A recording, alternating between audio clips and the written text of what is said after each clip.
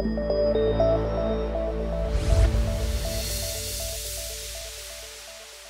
name is Brad Smith and I work for Santa Cruz Berry Farming Company in Watsonville, California. We're strawberry growers. Uh, the biggest problem we had with technology prior to Alvarez Technologies coming on was service and the level of service.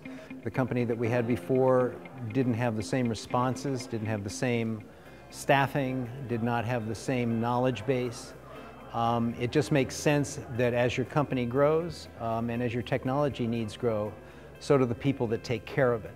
The first month of service with Alvarez Technology was great. They came in and completely assessed all of our needs. Um, they were quick about it.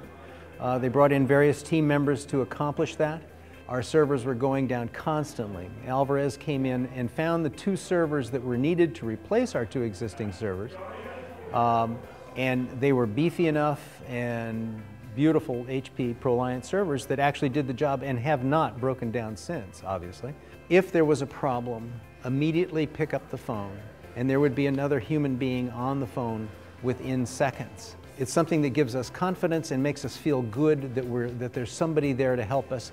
Alvarez has always been able to do that. I think it's important that there is a company like Alvarez Technologies to service companies like ours. We're not a big company, but we need service, a professional service, and every level of service and every person within Alvarez Technologies that has helped us has been extremely professional and has done an incredibly good job.